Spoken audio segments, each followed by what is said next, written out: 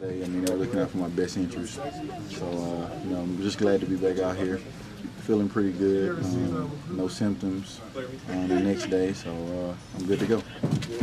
Okay, so coach was talking about the importance of improving as a tackling team, but Mm-hmm. it seems like it's something that is more mind over matter more than it is just simply going back and learning how to tackle, isn't it? Uh, yeah, I mean, but the biggest thing is having population around the ball. I mean, the more guys you have around the ball, the less opportunities you have for a missed tackle. Um, I mean, that's that's the biggest thing. I mean, uh, having enough guys around the ball, everyone flying to the ball, having all 11 guys coming out of the stack uh, when the ball's thrown, when the ball's handed off, that that creates a a less error. You know, if a guy misses misses a tackle, you have 10 other guys that's going to be in on a tackle What's Terrelle's mood? Have you talked to Terrelle much?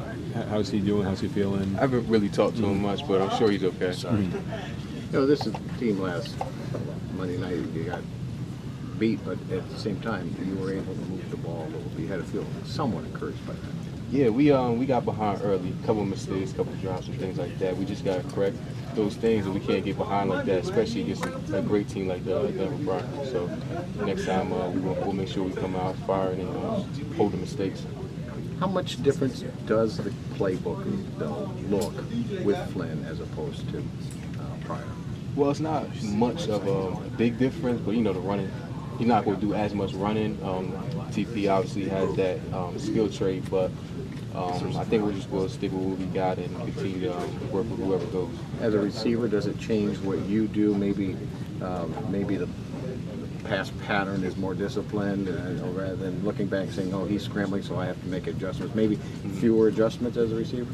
Yeah, I'm. I wouldn't expect as much uh, scramble drills as with uh, Terrelle in. So we, we know the ball's gonna come out quicker, and he's gonna try to uh, get the ball out, you know, faster. Oh.